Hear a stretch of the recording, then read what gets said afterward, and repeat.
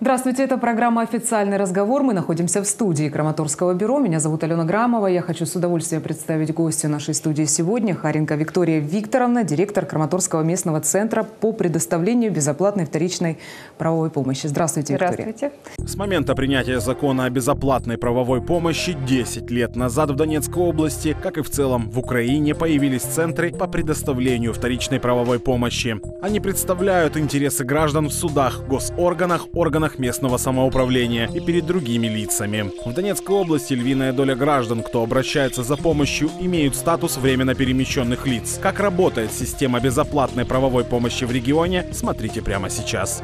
Ну, давайте поговорим о вашей специфике работы. А, То есть, ну вот, с чем вы сталкиваетесь, э, какие проблемы помогаете решить э, людям? Ну, э, знаете, наверное, хочется сказать с самого начала о том, что еще совсем не так давно юридические консультации и защита в судах для всех украинцев была платной.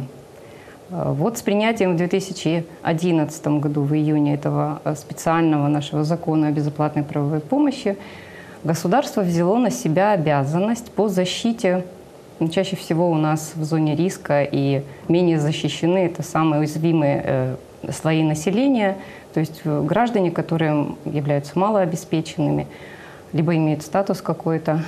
Государство взяло на себя такую обязанность по защите их прав. И это дает возможность равного доступа всем гражданам Украины, всем, кто находится под юрисдикцией Украины, на доступ до правосудия. Это очень важно. А давайте поговорим о внутренне перемещенных лицах, как обращаются, с какими частыми проблемами, и вообще какие цифры вы вот на сегодняшний день имеете?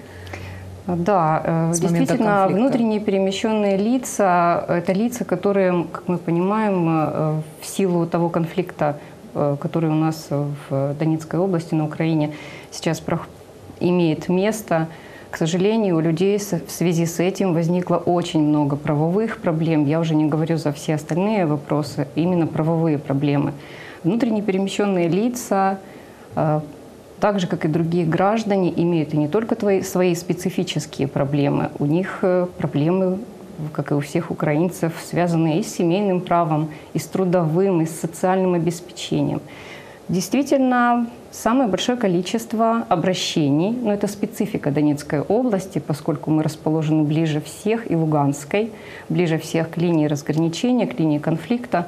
И, конечно же, э, внутренне перемещенных лиц э, больше всего среди наших клиентов. Их около 44% от общего количества обращений. Э, Эти граждане Украины, будучи в заложниках в этой ситуации, они приезжают к нам сюда, они пересекают контрольно-пропускные э, пункты э, въезда-выезда. Вы знаете, у нас их на территории Донецкой области несколько. А вот в частности, Краматорский местный центр обеспечивает деятельность одного из таких э, консультационных пунктов на контрольных пунктах въезда-выезда Мари, э, Майорск. Майорск. Простите, да.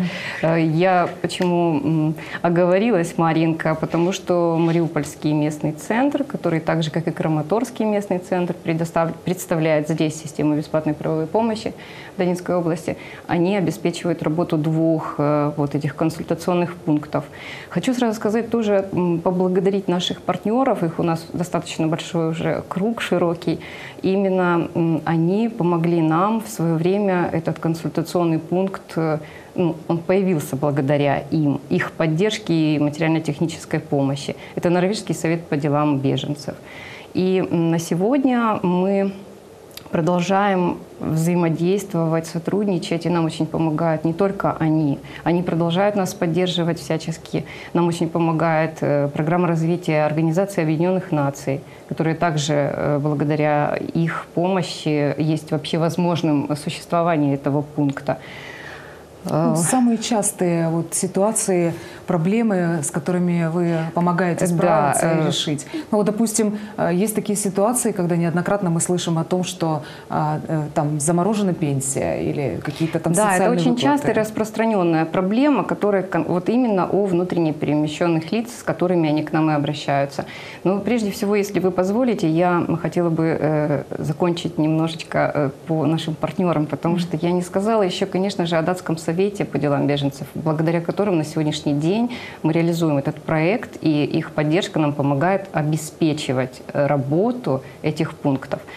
Что касается э, самих проблем внутренне перемещенных лиц, да, действительно, чаще всего они обращаются именно по вопросам социального обеспечения. Это касается э, не э, выплат пенсий, задолженности по пенсиям. Мы понимаем, что находясь на территории неконтролируемой да, э, э, Украины на сегодняшний день, очень сложно пройти все те процедуры, которые предусмотрены. Это и верификация, и прочее, прочее. Э, очень сложно соответствовать этим требованиям людям преклонного возраста, пенсионерам. Поэтому, конечно же, у них возникает много проблем, именно связанных с, пенсионным обеспечением. Социальная сфера тоже. Часто очень в начале, вот сразу после того, как все это, все эти события Э, трагически стали развиваться на территории Донецкой области, очень часто обращались к нам, они и сейчас обращаются, потому что люди и рождаются, и умирают на неконтролируемой территории. То есть факты, э, мы помогаем устанавливать факты рождения, смерти. Безусловно, их интересуют вопросы семейного права, трудового права, потому что как как, как, как бы там ни было, они э, пытаются как-то э, социализироваться здесь, на этой территории, как-то устроиться, и эти вопросы, безусловно, тоже у них возникают. А, я знаю, что каждый год вас становится все больше и больше, ну, как правильно сказать, представительств ваших, вы да, расширяетесь. доступа. А, я знала, знаю о том, что бывают э, ну, разные сложные моменты с подбором помещений и так далее, но все же, если мы говорим о прифронтовой зоне, да, о тех городах, которые находятся там, можно говорить о том, что вы там есть, и к вам вот есть такой достаточно простой доступ. А, вы знаете, действительно, а, система бесплатной правовой помощи в течение всех 10 лет она развивалась, совершенствовалась, как-то адаптировалась под эти современные условия, под вызовы. И на сегодняшний день хочу сказать, что сеть точек доступа очень э, широка. И она представлена а, в Донецкой области двумя местными центрами, 17 отделами бюро, которые находятся в городах, и в том числе в городах, которые расположены ближе к линии разграничения. Вот я сказала про контрольные пункты въезда-выезда, у нас там точки доступа. То есть внутренне перемещенное лицо только переступая, да, вот только выйдя из автобуса, находясь на территории КПВ, оно уже имеет информацию о том, что если есть проблема правовая, есть возможность обратиться в систему. И мы знаем, э, куда. У нас контактные номера телефонов, адреса, то есть все это очень доступно. Мы всячески пытаемся донести до них, потому что и через э, свою правопросветительскую деятельность с помощью разных каналов коммуникации, через интернет, э, мы все это стараемся максимально, потому что они граждане Украины, такие же, как и все остальные граждане Украины. Они также нуждаются в нашей помощи, и мы можем... Там ведь нет этой помощи на территории неконтролируемой. Такой системы не существует. И потому мы, конечно, доносим эту информацию, стараемся привлечь как можно больше э, внимания к себе, только для того, чтобы люди имели возможность воспользоваться этой помощью. Ну и скажите, вот фидбэки э, получаете? Наверное, это самое приятное в любой работе, да. когда у тебя есть результаты, когда Люди благодарят. Да, конечно. Вот я сказала о том, что где-то процентов 90 обращений, э, если это касается именно доступа до правосудия, то есть мы представляем интересы, система, адвокаты, юристы представляют интересы клиентов в судах. Это практически в большинстве случаев э, позитивные э, результаты. Понимаете, тут же в чем, собственно, особенность еще? Работая с документами, работая с историей клиента, мы всегда стараемся спрогнозировать для себя – насколько э, может быть, э, каким может быть решение? Мы же изучаем практику, изучаем судебную практику, решения судебных инстанций высших. То есть мы уже примерно понимаем, каким может быть исход. И мы стараемся все сделать для того, чтобы собрать необходимую доказательную базу. Точно так же и адвокаты. Вот когда это все есть, когда все это складывается, результат, как правило, позитивный. Очень много позитивных решений по пенсиям, я вам скажу. Ну, вот так оно сложилось, так получается. И юристы центров, они большие молодцы. Тут можно без зрения совести утверждать это, потому что у нас уже колоссальный опыт работы именно с этими вопросами.